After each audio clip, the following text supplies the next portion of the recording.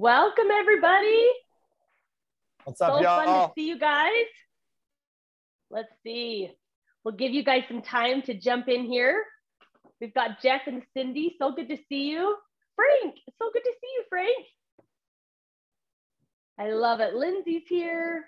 Lots of lots of people that we we love to see your name, recognize. We, I just wish now we could see your faces. Ginny, so good to see you on here always.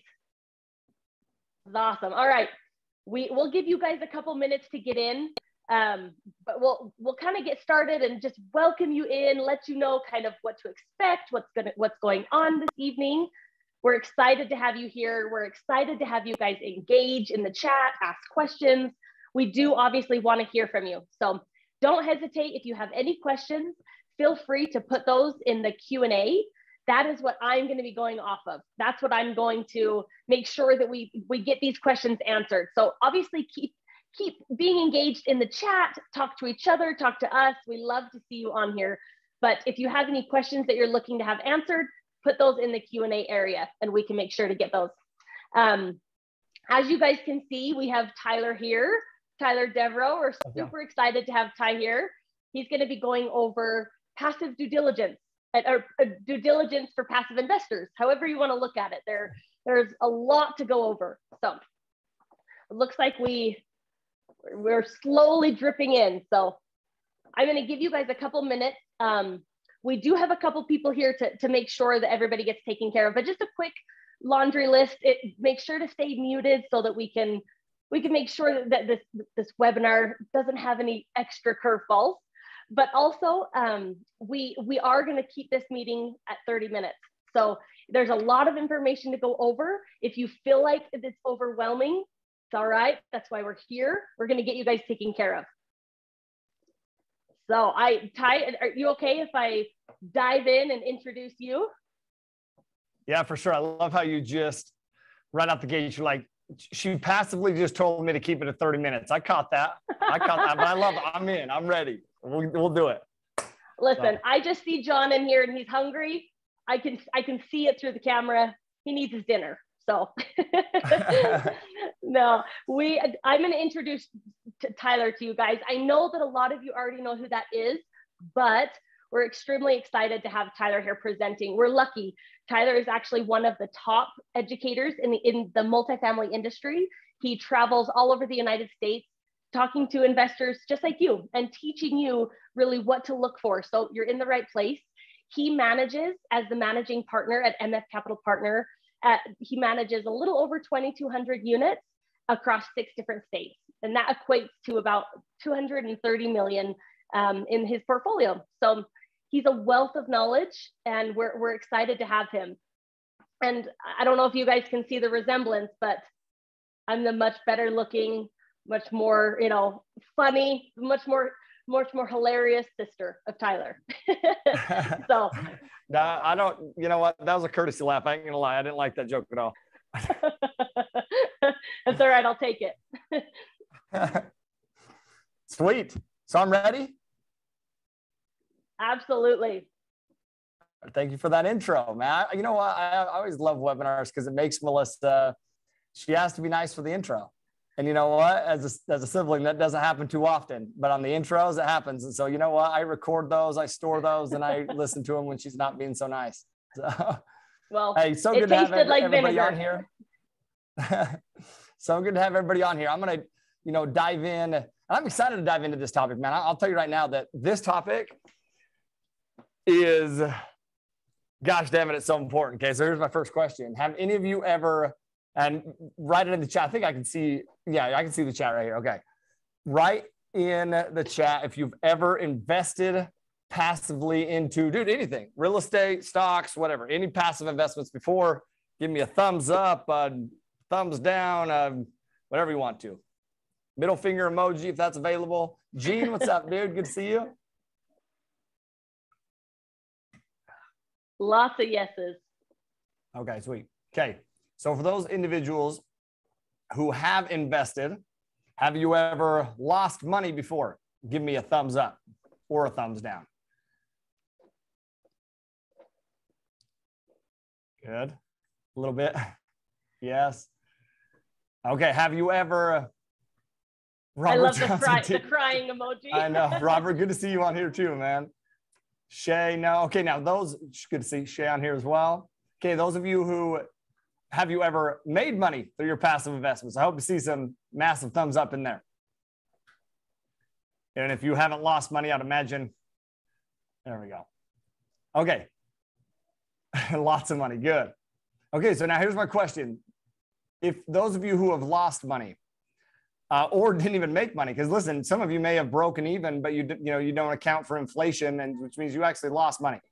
So those of you who have done that, what what emotion sticks with you longer, making money or losing money?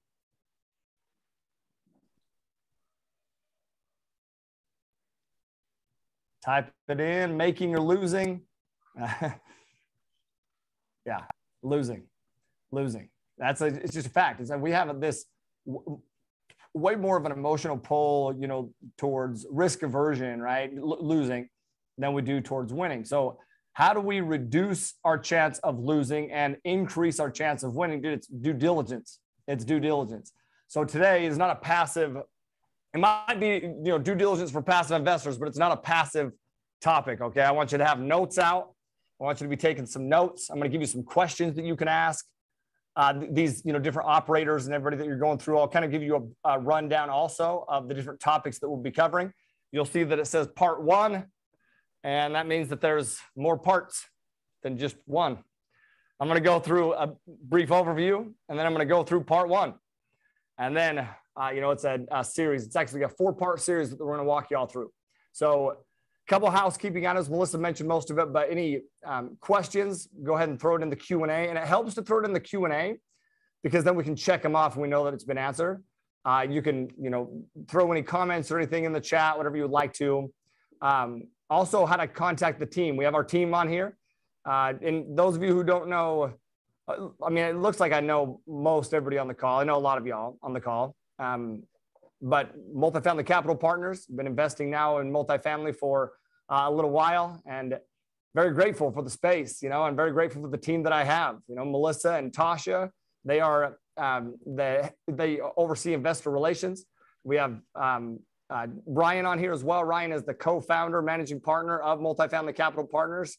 He'll be in there answering questions on there as well. But we got a whole grip of team members um, for you to tap into and for us to utilize on these projects. So if you have questions uh, and then you want to, you know, maybe even questions about what we're going to talk about, certainly we can ask today. Questions you want to reach out and ask us individually, uh, you can certainly do that. Melissa, I'm going to hurry and ask you, what is the, do you have a link or what is the best way for them to get a hold of y'all? Yep. So we have a Calendly link. That seems to be the easiest way then you guys aren't trying to, to figure out what's best for our candle, calendar. It's easy for you guys to just go in and, and make whatever works for you. So Tasha, Tasha will be able to drop that link for you guys. Sweet. You can click on that link, you know, schedule an appointment, whatever you would like to. Um, investment opportunities as well. We obviously always have investment opportunities for you to do due diligence on and make a decision. Uh, so those of you who would like to, those of you who are already not on our passive investor list, or those of you who have not uh, looked into our new fund, do you have that link too? I should have asked mm-hmm. this before. Yeah, we okay, do. Sweet. I just figured, I just knew you would. So we can drop that what link do you in want? the chat to everybody. We got it. good, good answer. So we'll drop that in there as well so you know where to go. Okay. So today's topic, we're going to talk about once again due diligence for passive investors. I'm going to tell you right now that there is um, I'll let, wait for Jackson to scan it over. There is so much to look at. Okay. There's just a ton, man, to look at like management team, the cash on cash return. What, what are the, you know, exit caps? What's the entry cap rate? What are the sales price going to be? Is that, you know, even aggressive, conservative? How do they structure the deal? There is just a ton. I mean, literally a ton. So my question for you is this what is the number one thing to look at, do you think? What is the number one thing to look at? You can throw it in there if you have any guesses, maybe even just be, you know what, be thinking. Uh, here's what I want you to do. I want you to be thinking of these two questions. Number one, what is the most important thing to look at? There's a ton. We cannot look at everything. It would be awesome if we can, but I mean, my goodness, there's a lot to go through, right? It's our job. I'll tell you right now, as operators, it is our job to look at freaking every nook and cranny. But as a passive investor, you also need to do due diligence, but it's like what makes sense, right? Uh, the other side, the other question that I would ask is what is the number one risk of any passive investment? Passive real estate investment, passive investment. What is the number one risk? So, those two questions. What's the number one thing to look at? Well, in my opinion, it would be whatever poses the number one risk to any passive real estate investment. And I got a couple uh, comments in the chat of what you think those are, and we're going to go through them. But I'll tell you this too not knowing the answers to those questions, or not knowing what, even that those are even the question to ask, I believe it stops most people from achieving their goals first off. So it stops them from even investing, but then it stops them from really just achieving their investment goals because either they don't in, don't invest or they don't ask the right questions and they invest in something that is uh, not the best idea to invest in for their goals, their you know their criteria and what they're looking for. So we have to be able to ask those. And I'll tell you, have any of y'all ever? I live out here in Maui, and by the way, our AC went out in the, the office. The office that the building that we're in, our office, the whole AC went out for the whole building. And so if it looks like I'm sweating off my bald head here, I know I did not grease my head. I should probably grease my head. I actually kind of like that reflection. Uh, I, it is hotter than Hades in here. So bear with me as we go through this. But hey, wait, live out here in Maui. Is, is Haiti plural or is it just hotter than Haiti? Shit. I think it's just Haiti. You know what? I haven't went down that route. That's gosh. Whew, that's a good question to ask. Good. You know what? We'll topic for another day. I'll do some due diligence on that and let y'all know. um, but one of my favorite hikes out here in Maui is called the Four Falls of Nahili It is, uh, it's just an amazing hike. It's you go through this. It's on the road to Hana. Have y'all ever been out to Maui? Maybe throw that in the chat. Have you been to Maui? Give me a yes, no. And, and if so, have you done road to Hana as well? In road to Ma- on on in Maui. Joe, yes, hey Joe, we did this hike together, part of this hike together. Okay. Okay. So one of my favorite hikes, once again, four, falls of Nahili and it is obviously it goes to four waterfalls. Okay, the name kind of gives it away, but you hike through this bamboo forest, and then you get to this waterfall. Then you climb up this kind of like this rock face. You have to use like a rope to get up, and then you climb across the edge. It's kind of, you know, there's a river right here. And then you get to a rope swing. And then you climb up this rickety ass ladder. It's super sketchy, very dangerous. Uh, but whatever, you climb up. And then there's another waterfall. And then you have to jump in. You can't continue to hike. You have to jump in and swim and then climb to the last waterfall. Now, it is amazing. It is an amazing hike and the full thing to go, uh, you know, up and back about two hours. Okay. Well, I have my nephew in town and uh, his uh, girlfriend, his name's Corbin and her, her name's Piper. And, you know, they're like, hey, what should we do? And I'm like, dude, you should go on the four falls of Nahili Not even a question. It's a phenomenal hike. You'll absolutely love it. It'll be the highlight of your trip. And so they're like, and I'm like, okay, here's the map. Here, here's where you go. Here's where you stop, drop a pin. Now, here's the trail that walks you through the whole, like literally it GPSs you through the whole, so you know where you're going, right? This, I'm just walking them through it. Gave them as much info as I, well, as I possibly could. Okay. But I could not go on the hike with them, probably because I was doing something to service you as investors on some of our deals. I don't know. Okay. But probably because you guys are all I ever focus on. That's a fact. Okay. but I couldn't go. And so they go and they come back and I'm like, hey, how was the hike? And they're like, oh man, it was, it was good. Yeah, it was, it was a decent hike. I'm like, did, so did you make it the last waterfall? Because listen, the magic is that last waterfall. Huge, beautiful waterfall. And they're like, no, you know, we no, we I, I think I I think I think so. You know, it took us quite a while to get to like, you know, the rope swing part. I'm like, yeah, it took us quite a while to get there. How long? Two hours, two hours just to get to the rope swing. That's the first part of the damn hike. So I was like, okay, what, what in the world, right? And then they didn't make it to the top. Why didn't they make it to the top and why did it take them so long? Because they did not have confidence in where they were going. They didn't know if they were going the right way. The whole time they're second guessing themselves. The whole time they're wondering, is this the way to go through this bamboo forest hike? Right. So they're, is it right or left? Is it straight or back? This way or this way? What, which way to go? Right. The whole time, the whole time. Then they get to the point where, you know, we're talking about return on investment, where you're going to get the return on your investment. And what do they do? They retreat and head back. The result is a very average hike. Okay, compare that to my first time going on that hike with somebody who knew the hike. They had done the hike. They walked with confidence. I had somebody walking me through that with confidence. We knew exactly where to go. Why? Because I just followed them. And I knew, hey, we're going to stop here. This is what we're going to do. We're going to jump in. Great. Then we go to the here. Okay, we're going to jump in. You know, rope swing. We're going to do a backflip here. That's great. Okay. Now jump back out. We're going to climb the ladder. You sure it's safe? Okay. You stay. Okay. Safe. Seem confident. I'm going to go. Boom.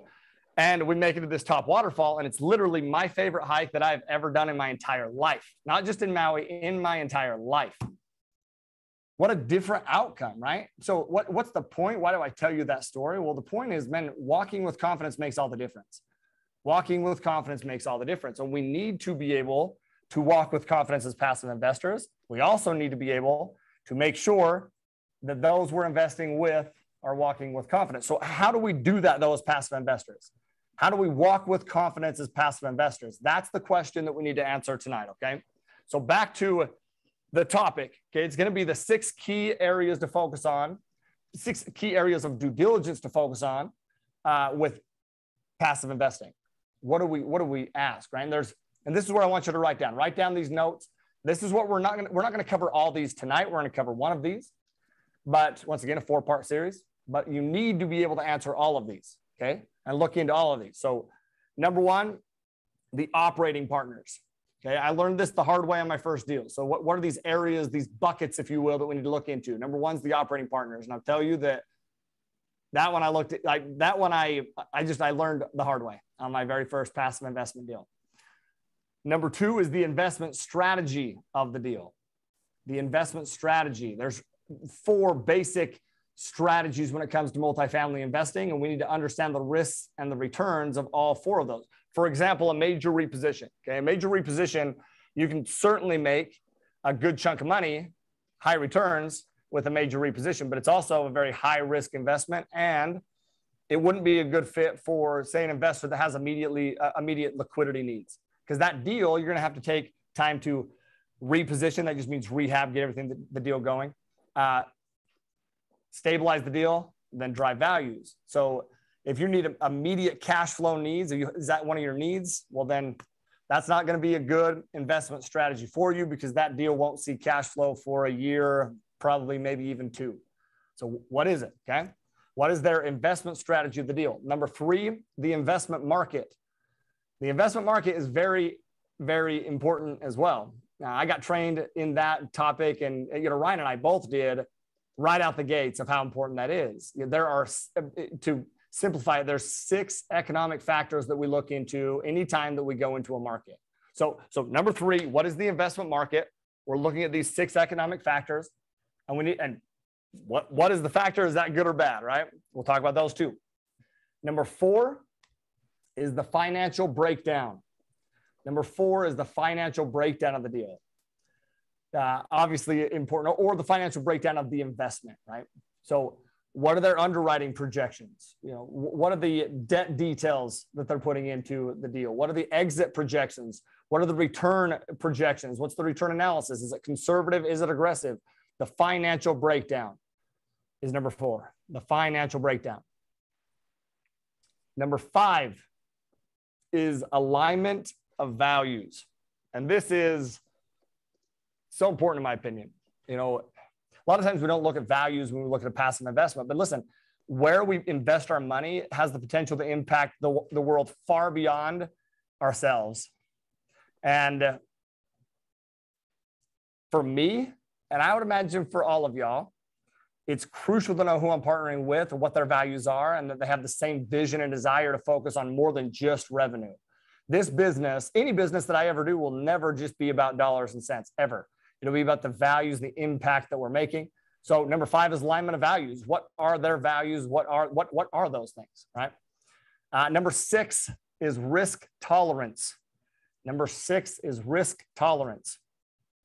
Each investment strategy, investment market, investment, each investment has different pros and cons and different risk levels. So everyone has and everyone has a different idea of what risk is too, by the way.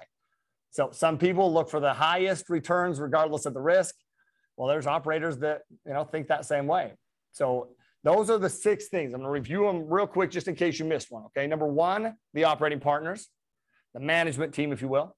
Number two is the investment strategy of the deal. Number three is the investment market, the investment market. Number four, the financial breakdown. And number five, um, alignment of values is number five. And then number six is risk tolerance. Okay. All right. So, so back to our question that we. Before yeah? you jump into that, how do you know these six things? Because going off of that first slide where you showed us all of that plethora of issues, how did you get to this point to know what six areas to focus on? Because I've lost money.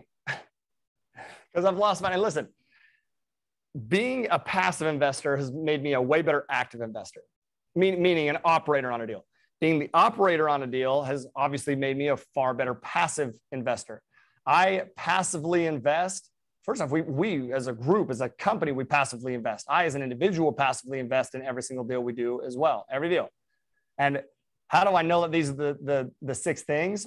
Well, because I'm an active investor in 2000 plus units uh, and you know an operator on 2000 plus units. I own 2000 plus units and i know what those risk factors are because i analyze those look at those um, think about those dream about those every day every night man. Every day and every, and every night. So hopefully that asks, answers that question but as you go back to you know that first initial question that we posed, which is what is the number one risk? It's the management team. It's your operating partners, and that's what we're going to cover today. That's what we're going to cover today. That management team, we need to make sure that they can walk with confidence. That when they're what they're doing on this,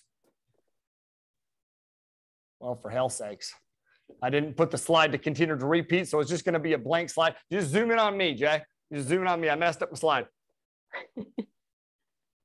should have done due diligence. No, not that far. That's too much. should have done due diligence on my on my transitions here. so my very first passive investment, I learned about the multifamily space, okay? And I'm so pumped about it because I did not know that it was possible to invest in apartments. I had no clue.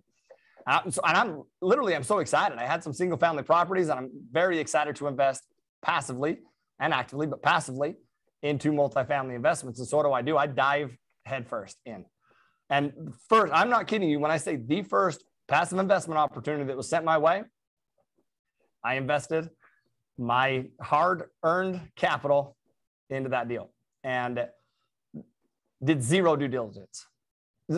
Zero due diligence. The only due diligence I did is that it was a real deal. Great. It wasn't a scam. Okay, great. But I had no idea what questions to ask. So what that what happened is it was a fairly decent deal and it was a fairly it was even a fairly decent market, like these things that we talked about, right? Their strategies were pretty decent, but um, it was with some fairly horrendous operators, which left me in this deal that the real estate market is booming. This is 2014, 2015. Real estate market is booming. And my investment was a bust. Why? Not because of the deal, not because of the market, is be- and not even because of their strategy. It was because the op- operators and their inability to execute their business strategy. The operators are the number one. This is when I learned this. Man. I knew I knew that day that the operators that day, that span of time, but I knew very quickly after that investment that the operators are the number one factor of deal performance. The number one. They're going to be the number one factor of risk or return in your investment. So you need to be able to vet them. And I'm going to give you questions to ask. Okay. There's going to be curveballs at every single deal. Every deal. That's a fact. That's not a question. That's not a, you know, that's not a, that's a fact. So the operators have to be experienced enough and dedicate and dedicated enough. That's another thing. Dedicated enough to handle it. So, and then I'll come in with some of our questions on how we know that. Okay. And I'm not saying, I'm not saying that, you know, a strong operator can make any deal work. Real estate is a risk. And I need to always clarify this. Real estate's a risk, but it is your operator's job to mitigate that risk and maximize returns. The operator is just as important, if not more important than the deal itself. And in my opinion, uh, more important. We've had curveballs on a number of deals, and a number of you have been on those investments where we've had curveballs on. We've had fires on properties where whole buildings have burnt down, whole buildings, Cra- crazy stuff, right? We have to go in, we have to fix the problem. Uh, we've had quarantine orders, eviction moratoriums that we've had to navigate. We can't evict. We can't, you know, everyone is, is being told that they can't uh, or that they don't need to pay rent. That's all on the same property that I'm talking about, by the way. We bought a property at the end of January, 1st of February of uh, the closing date was right around there of 2020. Right after was coronavirus, quarantine, big old fire. We have to navigate all those waters. And the strategy, our investment strategy, was we had to evict slow, non paying tenants and improve the community. And all of a sudden, we couldn't evict. But do you know what? We were very dedicated to the cause. We found ways to evict. We found ways to, in, you know, appeal to human needs to get those people out, get more, better people in, take care of the fire situation, and uh, it's a profitable investment in Village East that we're about to exit. We have another one, Prosper Fairways. Prosper Fairways is in Columbia, South Carolina.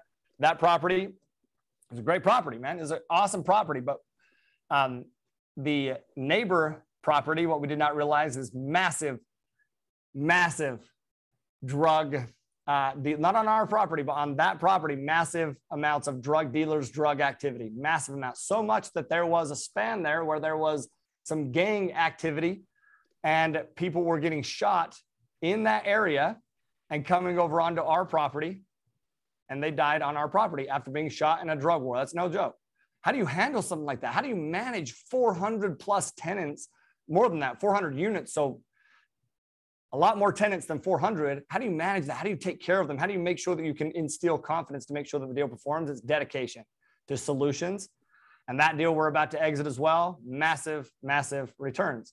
So we have to be able to understand how to vet the right operating partners, what questions to ask, and are they going to do that? Or are they going to uh, not do that? You know, cash in and go on the four falls in the Healy Healy when we need to deal with drug dealers in Columbia, South Carolina. Which one are they going to choose? Damn it. We need to know. Okay. So, some questions that you need to ask. Okay. Here's some questions. You can write these down, snap a Jay, you can show the slide if you want to. Uh, so write them down, snap a picture of the, the screen, whatever you would like to do. But some questions we need to ask. This may seem very, very basic, but have they done this before? You would think that that would be the first question that any of us would ask, but I didn't even ask that question. I just assumed that they had done this before. It's a bad assumption. It's a bad assumption.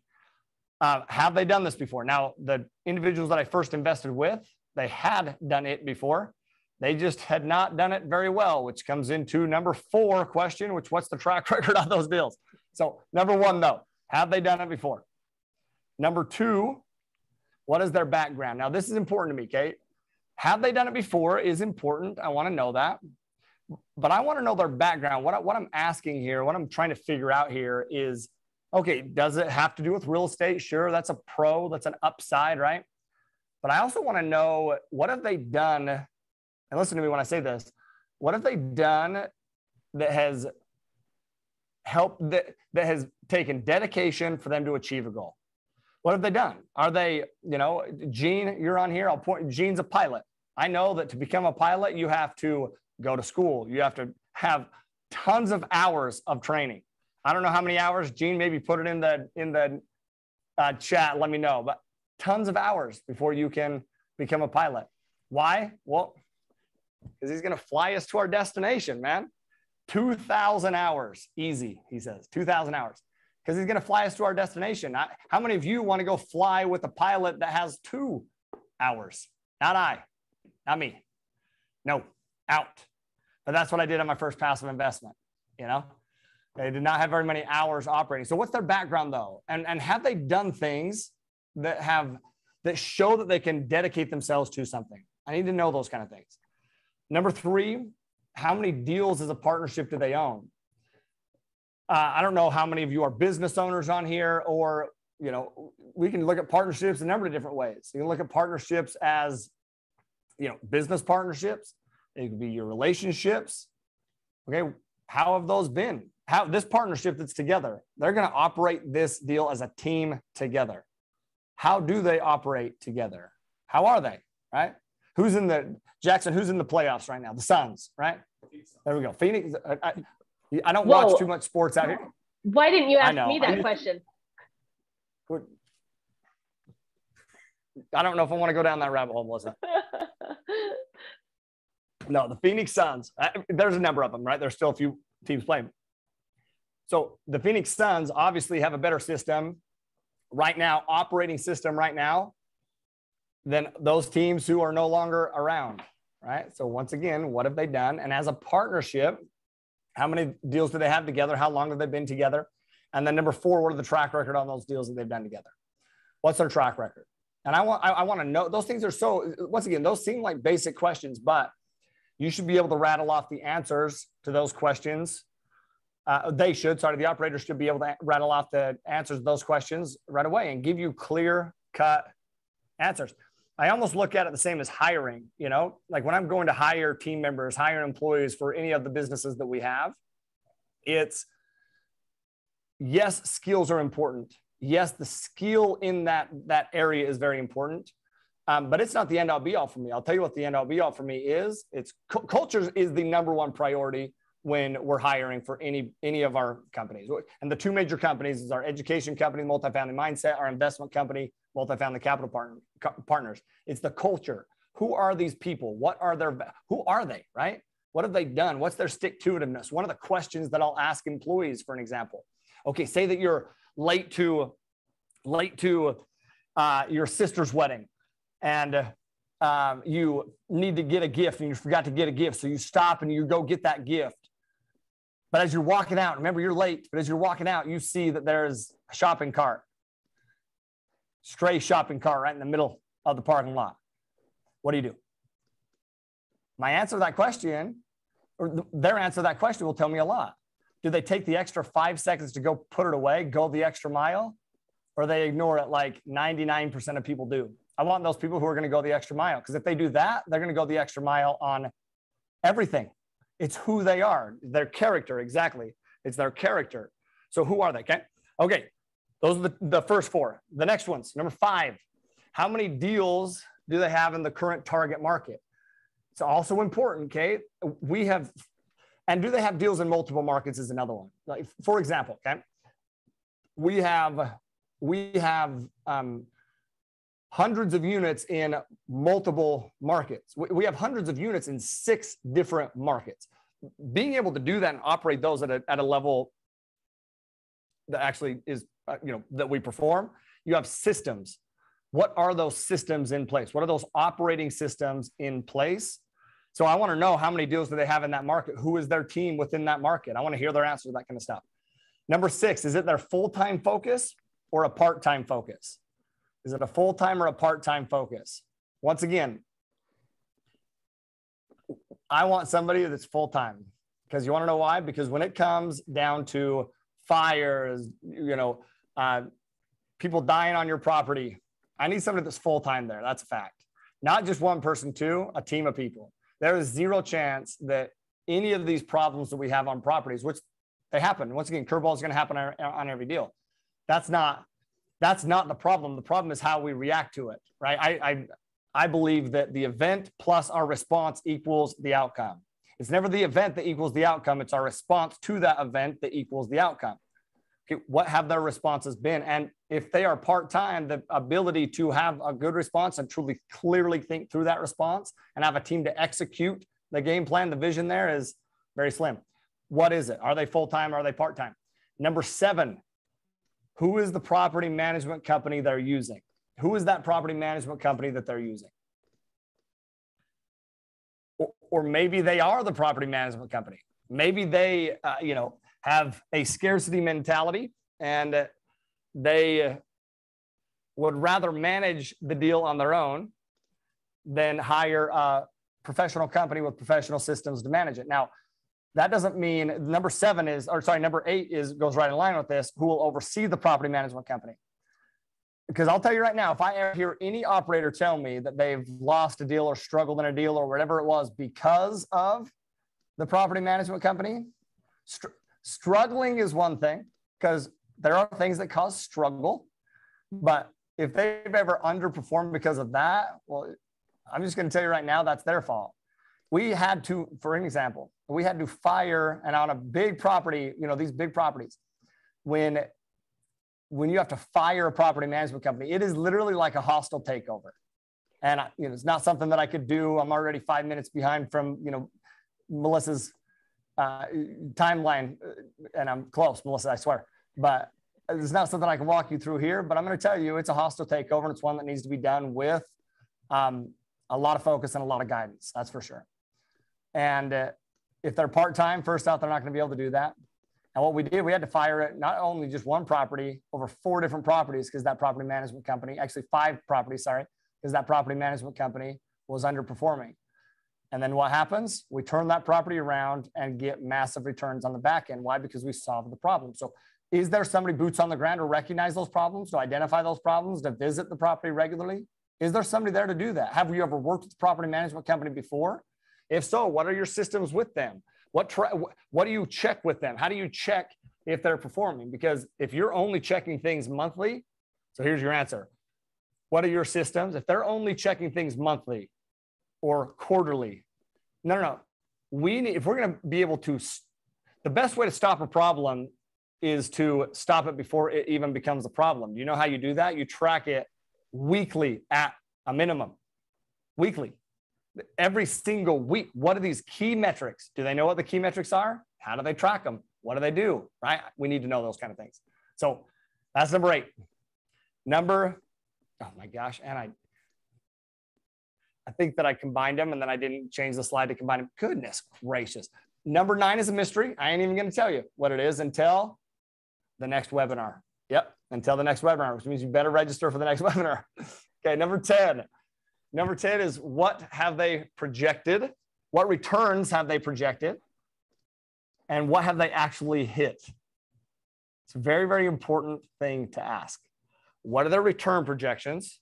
Because projections, speculation, I mean, yeah, optimism is a great thing, but there's a lot that can wipe out optimism, right? Over the span of a three, five year hold what's the difference between learning from you versus going with if you can kindly educate please. I shouldn't have read that one out loud. Um, a lot but this is for a passive investors here. So this is passively investing um, but there's a lot difference. You know i don't know a ton about that individual's program. I definitely know of that individual and i'm sure that he has great stuff. And i'm you know we have great stuff with our education program.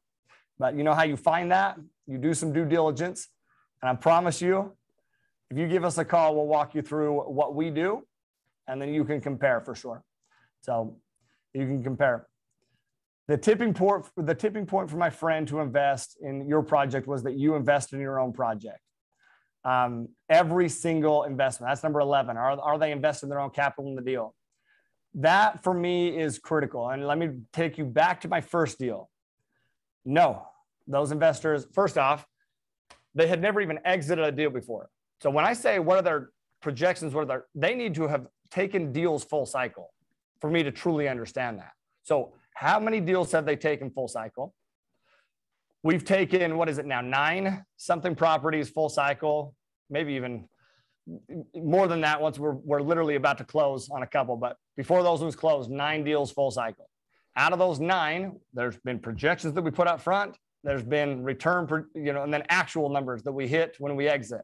And those far exceed our returns, far exceed. If you don't know our track record, we can certainly send that over too, but they far exceed for a lot of the reasons that we just talked about. But number 11 is also one of those reasons. Okay, are they investing into their own deal? My first deal that I invested in, they were not investing into that deal. Why? Well, because they were brand spanking new into the space. Everyone on the team brand spanking new into the space and they didn't have the capital to invest. Well, okay. That's an issue. Okay. It's an issue for a number of different reasons. They're just desperate to do a deal. Our biggest problem is not deal flow. Our biggest problem is which deals to choose from that deal flow. Why? Well, because we're doing due diligence on all those deals, uh, more detailed than we're going to even walk you through in this four part series. So I need to know as I'm investing into these deals, as a person, as a company, and then also bring it to our investors, is that first off, if I'm ever going to bring it to my investors, that's a deal that I need to believe in and want to invest in and actually invest in. So why do we invest in every single one of our deals? Because we believe in every one of those deals. That's why we invest into those deals. That's why we take those deals down as an operating team. And then also, once again, we want to make sure that we're aligned, aligned with our investors. Okay. Meaning we're equally yoked. We have skin in the game. That's that's actually, you know, one of the ways sometimes I'll ask the question is, are you investing in your own deal? And or or I'll ask, hey, what skin do you have in the game? I want to see how they answer that question. Oh, sweat equity, actually. Sweating, sweat equity, lots of it. That's I need more than sweat. Okay. Speaking of sweat, I'm no longer allowed to raise my arms in the air because it is a wreck underneath here. I'm just telling you right now, it's a wreck. It's a wreck. But that's neither here nor there. That's not what you're doing due, due diligence on. Is the how hot is it in here, Jay? 87 degrees. 87 degrees. Woo! This is dedication. You know what I'm talking about? This is dedication. I could right here. so are they investing in their own deals? I need to know those kind of things. Those are some of your questions that you need to be asking these investors. Now, once again, a four part series. And all those things that we talked about, those six things that will be put together in four different series, are all those things critical? Absolutely. Do all of those things have the power to eliminate your investment altogether? Absolutely, they do. Absolutely. And your number one priority certainly is to make money, but to certainly not lose money. So, so when I, I'm just for, I, I shouldn't tell you your number one priority. I'll tell you my number one priority as a passive investor when I go to passively invest is I want to make money. I do, but I certainly don't want to lose money. So it's risk aversion first, growth of that capital second, maybe hand in hand. Obviously, I want to grow. I'm never going to invest into a deal unless I unless I see the return potential from that deal. Right? I see it, and I believe in the operators uh, that are operating it um, you know, my team included, obviously. But I want to know those kind of things, right? So we need to know those kind of things. And obviously, I recommend that you do as much due diligence as possible, as much due diligence as possible. Some of you are ready to invest right now. Some of you, a lot of you have already invested. Just seeing the chat and who's here, a lot of you have already invested into our different deals, our fund, other investments, obviously. And some of you are ready to invest right now and that's great. But my advice is to do as much due diligence as possible to continue to come to go through this four part series, understand what questions to ask and understand what the answers to the questions mean, right? Like we talked about today. And then also just understand the different parts. So it's our bi-weekly webinar that we're gonna be doing, four part series. The next one, part two, will be um, um, on financial analysis. Ryan Woolley is one of the best underwriters looking at the financials that I know. He's my partner for a reason because his so his background is accounting. He's very good with numbers. And that's not necessarily my strong suit. So what I need to do, I needed to partner with somebody who had that skill set. Who's going to teach you that? Ryan Woolley. He's a wealth of knowledge. That airs on uh, May 25th at 5 p.m. Eastern, if I remember correctly. I'm pretty sure it's 5 p.m. Eastern. Um, so make sure as soon as you get that email that you register uh, for that second part of the series. May 25th uh, is my anniversary. And though I may stay in an office and, you know, avoid four falls in the Healy Healy for y'all and go, you know, fight fires, I ain't going to fight the fire of not celebrating with my wife because I got to do a webinar. Okay. so I ain't going to do it. So Ryan Woolley will do that one. And he is a wealth of knowledge. A lot of you already know who Ryan is too. You already know. So make sure you sign up for that. I want to open it up to some Q&A real quick. Make sure that we answer any questions that y'all have uh, on due diligence. So you can go ahead and type those in the chat or in the Q&A or Q&A section, wherever you like.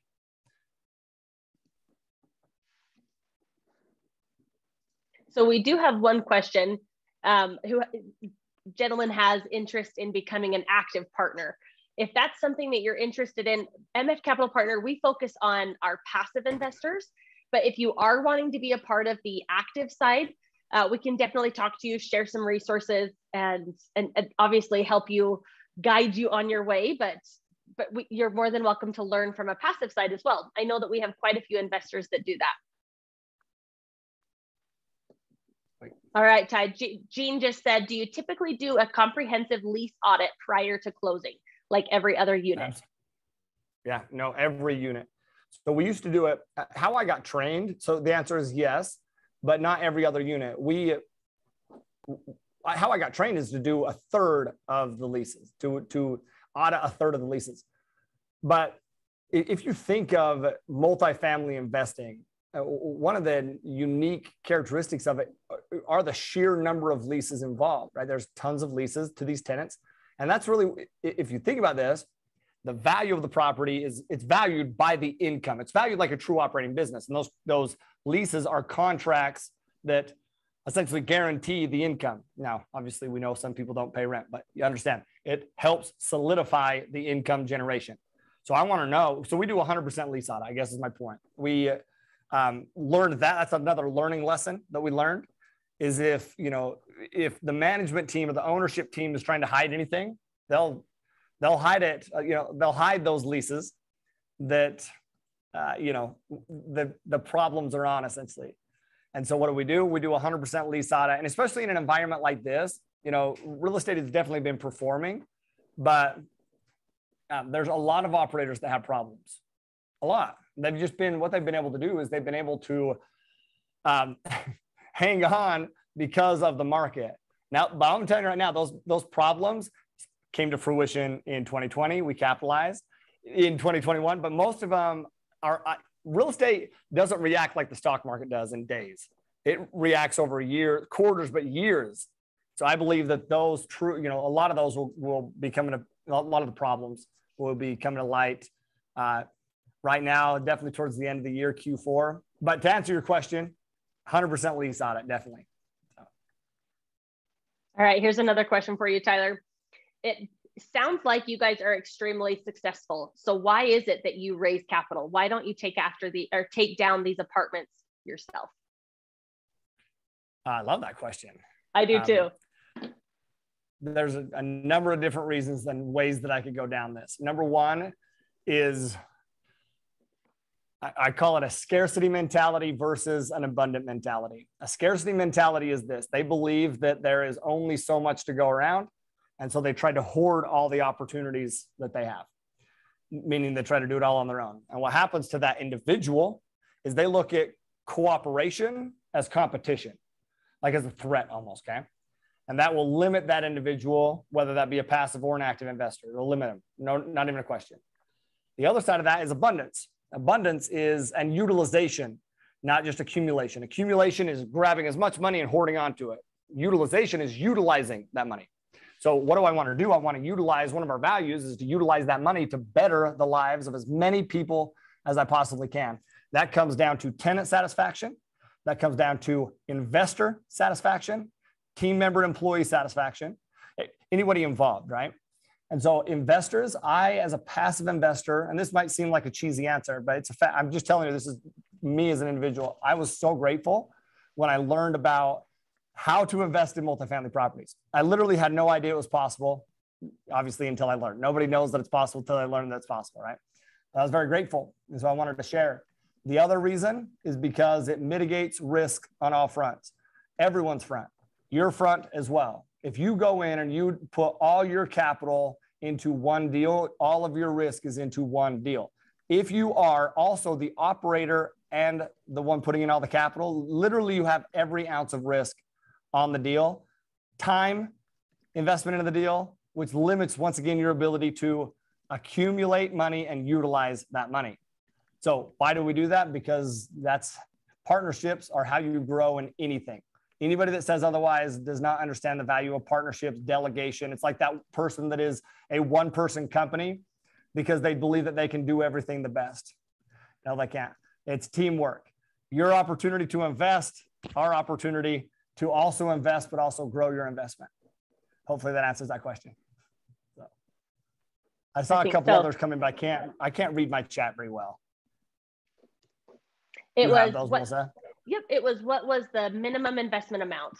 And I did answer that in the chat. I let them know that our minimum right. investment amount is a hundred thousand. Uh, we do have a waiting list for any amounts less than that, but but we our minimum is a hundred thousand. And then I did put the have link in the chat. have you been an operating partner for any projects that have had a loss? I have not. Uh, not on a multifamily side. On the single family side, I was a, I invested in single family properties before I transitioned to multifamily uh, by myself, by the way, uh, which means once again, I'm relying on my knowledge as an solely my knowledge to flip, to rent, to everything. And crash happened, and I got burnt in that crash. And those scars are some of the scars that I believe make us as a company, because a, a, a, number of us as a company got hit, uh, have scars from the crash. So yeah, I lost a couple single family homes there, and learned a lot of lessons, man. One of those is to know when to buy, how to buy. That real estate doesn't just always magically go up in value, that there's, especially single family properties, that there's actually strategy. And then the multifamily side, it's valued like a more like a true operating business, right? So I immediately realized that I needed to learn the business and learn how to operate a business efficiently and effectively. So, so but no, not, none on the multifamily side, yes on the single family side.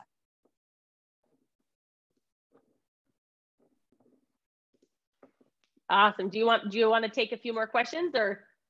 It's up to you. Is there any more? I'm good either way. So there are a couple. I think we've honestly the ones that the the rest of the questions you answered within the within the webinar, and so we will be sending a copy of this webinar. Uh, it will be emailed to you sometime tomorrow. So if you guys have any uh, additional questions, feel free to reach out to Tasha and myself, and we'd we'd be more than happy to to get you taken care of.